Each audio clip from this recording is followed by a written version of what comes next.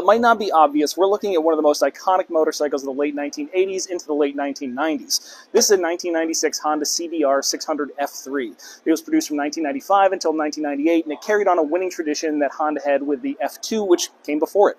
So ultimately, not only was it a great bike for the street, selling tons of motorcycles, like 50,000 plus units. It also won a number of AMA Supersport championships in the hands of Miguel Duhamel, who became the winningest racing driver in that entire category.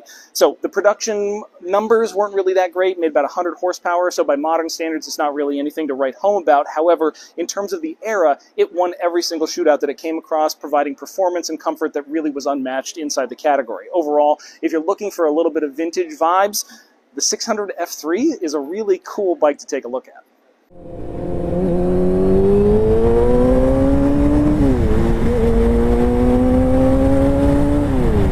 Oh man, this thing is smooth. Just super lays down the power.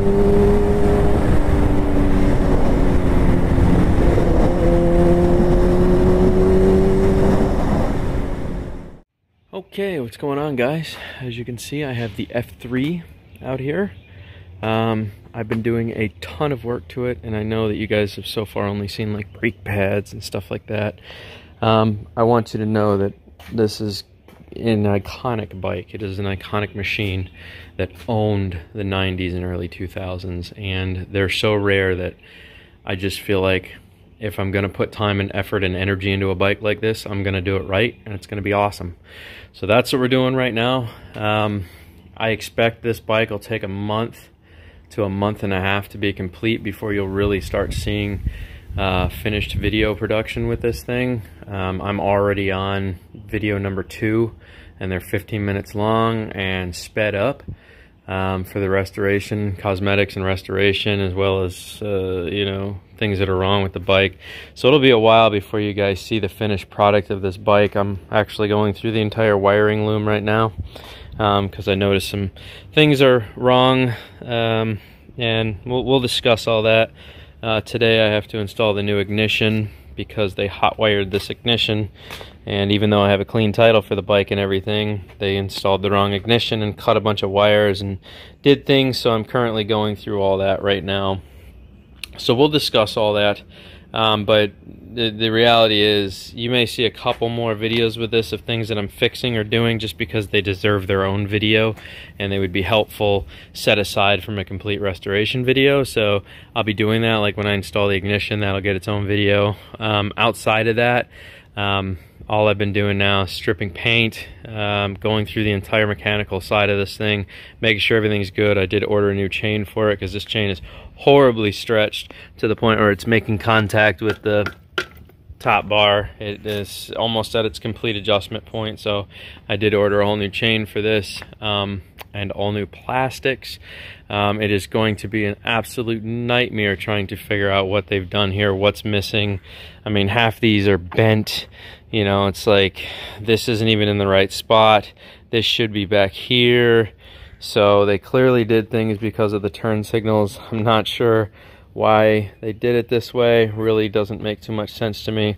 And I'm not going to know literally until I get down to putting the plastics on that I ordered, which by the way are going to take nearly a month and a half to get here from China. So up until that point, um, this bike is just getting a complete rework. Now, that's not going to stop me from riding it. Um, I did order the original seat for this thing. Um, so I will be putting the original seat back on. If I have to cover it and redo it, I will. Um, I'm currently going through the entire system because this is a bike that I'm going to keep for a while. This is the type of bike where when it's done, it will look amazing and you will get a lot of props from sport bike riders just because of how iconic this machine was. This is kind of like one of those cars where, you know, you take an old Dodge Charger and you fix it up and then people are like, oh shit, that's amazing. This is that bike. This is what that bike does for the sport bike world. So yes, I'm taking my time on the project. Yes, it's going to be done correctly. Um, I still have a little few more fairings to pull off. All the fairings are over here. These are getting either parted out and sold on eBay for the new ones, or I don't know. I still have some measurements to do on the front here because I noticed the headlight assembly is bent. This bracket is bent, and this one is normal, but I think I think something's going on with the bar system here. Um, I did remount all of this, so this is all solid now. As you can see, new bolts and stuff went in there, but like I said, I'll have a whole video separately just for all that stuff. Um, today is going to be reworking the electronics and making sure that the um, new ignition that I got uh, worked properly with the system because right now it's back feeding power into the system which actually burned out the voltage regulator. So that's why it's not charging the bike. It's just running off the battery power of the bike. So I have a new voltage regulator coming because this one is junk um, and it's old and unfortunately it burned really bad. So uh, yeah I mean there's there's things that I'm doing here. Like I said I knew this bike needed a lot of work. Um, yes it runs. Yes it drives. Um, for a duration of time before the battery finally dies and can't produce spark for the bike anymore. Um, so that's something that I am currently addressing right now. This bike is 28 years old. It's a granny you know the fact that Honda's made a machine that a high revving machine that's made it to 39,915 miles and I've seen these things well into the 80,000 mile range is insane to me.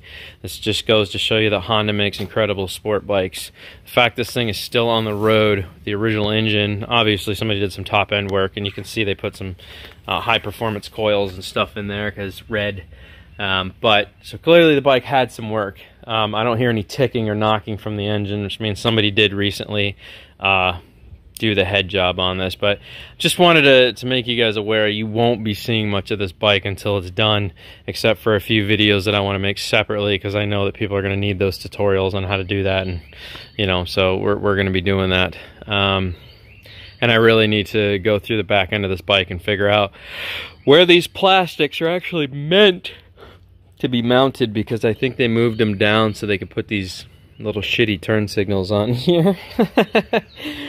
so I'm probably going to be redoing this is because this is not it's not ideal. It's just not ideal. So, yeah. And then there's wires that are just open that need to be covered with, you know, shrink tape and stuff like that. So, could the bike probably drive 30 miles before the battery would die? Yes. I'd be pushing my luck. It's better just to fix the system. You know, I want the bike to work 100% properly. So most of the stuff that you guys see right now that all looks dirty and shitty, you won't see uh, when I'm done because all the plastics cover all of this. Most of the frame that you can see that's that's all this will be covered. You won't see any of it. None of the imperfections. It'll have a whole new plastics kit.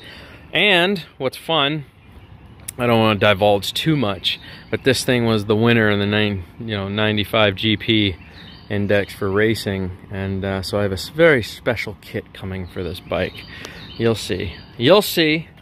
I spent a lot of money. Let's just say that I spent a lot of money uh, to make this kit a possibility for this bike. So, yeah. So, anyways, uh, that's the update on the F3. This will be my bike for a considerable amount of time. This to me is an old school muscle car. This is one of the old school muscle bikes that ran the road that uh, owned, absolutely owned the 90s and early 2000s. This is an iconic retro monster. And it's a super sport. It'll keep up with R6s of today's time. That's crazy. It's crazy. And the 0 to 60 snap on this machine is wild absolutely wild. Even for the time of its release, it was way ahead of its generation. And even today, people would be like, oh no, that's too fast. I don't need to go from zero to that fast. I don't need to. Hey, you can see the frame numbers 1995, manufacturing date, Japan. So, let's restore this puppy. I uh, just wanted to put that out for out there for you guys. Um, I do have to redo my fork seals on the front. Well, one of them. The other one looks fine, but if I'm going to tear them down, I may as well just do them both while I'm in there. You can see this one's leaking oil, and that one is not. So this one has a minor leak to it. Um, it's best just to do it now. Um, I'm trying to leave all the original parts I can, the original colors. Uh, for instance, front brakes, that's the original paint. Rear brakes, original paint. There's there's no reason why I should try to change things that aren't necessary or don't need it, you know? So, yep, that's what's happening with this bike. So, uh, you may see a couple more videos with this of things that, that I deem necessary. Like when I do synchronize the carbs, I'll probably make that video. It won't have none of the plastics on it or anything. When I replace the ignition, we'll probably make that video. Um, but she's stripped and ripped right now. This thing is completely pulled down minus one fender. Um, and that comes next. So there you go. The monster's torn down right now. Dan doesn't have a motorcycle. Well, I do have a motorcycle. Two of them. One there, this one, and my normal one. But um, I think I have a buyer for this coming Friday or Saturday or maybe Monday. We'll see. So the 500 is going to be gone. I can still legally drive it right now because it's titled my name, but just don't really see the need to be out on the street right now. So, yep, I really am anticipating finishing this bike. This is to be a fun one. This is to be one when you show up at the bike meets, people go, holy fuck, is that an F3? Yes, it is. You're damn right it is. And it all comes down to time, effort, and energy spent that makes you feel good at the end of a project. That's what I want to do with this. So let's get there. Yeah. Are you sure this is okay? You're in country, dude. Live a little. Now she's pretty sensitive, so go easy on the throttle, okay? All right.